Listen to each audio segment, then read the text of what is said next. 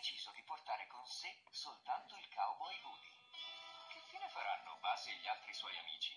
Potresti regalarli all'asilo Sunnyside, dice la signora Davis al figlio, dandogli sacchi e scatoloni.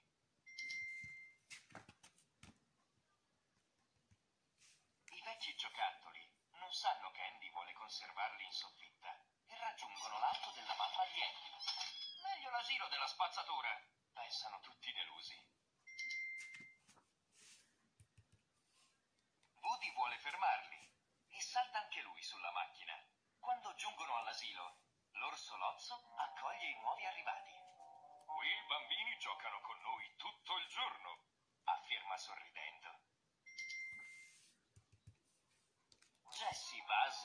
Altri giocattoli pensano di aver fatto la scelta giusta. Woody, invece, vuole tornare da Andy e va via da solo.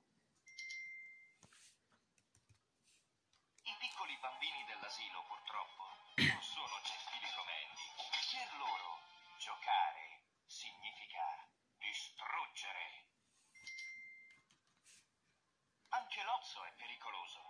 Cancella la memoria di Buzz e imprigiona gli altri giocattoli nelle gabbie. Woody torna indietro per salvare i suoi amici. Fuggiranno insieme dall'asilo, lanciandosi nello scivolo della spazzatura e attraversando il cortile. L'ozzo scopre il piano di Woody e prova a liberarsi dei nuovi giocattoli facendoli trasportare nell'inceneritore